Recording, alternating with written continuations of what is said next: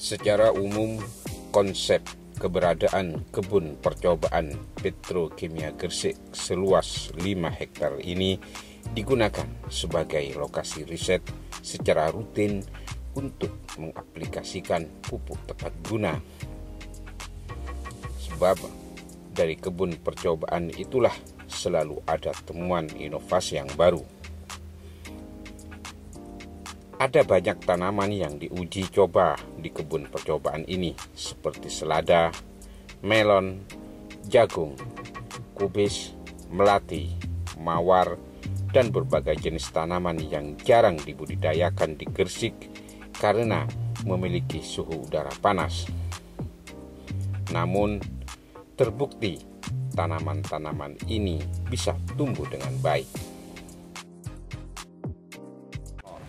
Jadi ke depan itu yang namanya pemupukan itu harus spesifik location, spesifik crop. Jadi jenis tanamannya tertentu, lokasinya tertentu, pupuknya tertentu. Nah, hari ini kita mengeluarkan pupuk yang untuk jenis tanaman tertentu. Mudah-mudahan dengan demikian terutama petani uh, sayur mayur dan juga petani tembakau karena Indonesia salah satu uh, eksportir tembakau. Uh, florikultura itu besar sekali.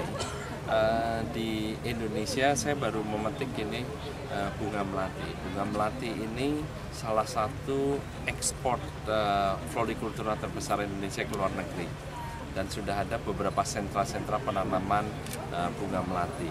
Uh, uh, pasarnya sangat besar dan uh, pasar ekspor sangat terbuka luas sehingga kalau kita bicara pasarnya pupuk ya pasti juga luas sekali.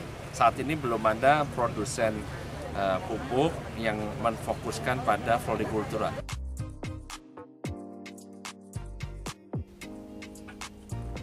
Selain untuk riset, kebun percobaan juga bertujuan merangsang masyarakat perkotaan menggeluti usaha pertanian meski dengan lahan yang sempit bisa diberdayakan dengan tanaman hidroponik yang mutu dan kualitasnya tidak kalah dengan tanaman atau buah di areal perkebunan.